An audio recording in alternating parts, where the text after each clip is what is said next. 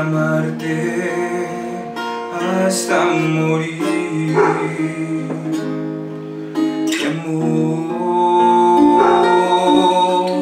¿quién, quién pudiera amarte hasta clavarse contigo en la cruz? Oh, Señor, que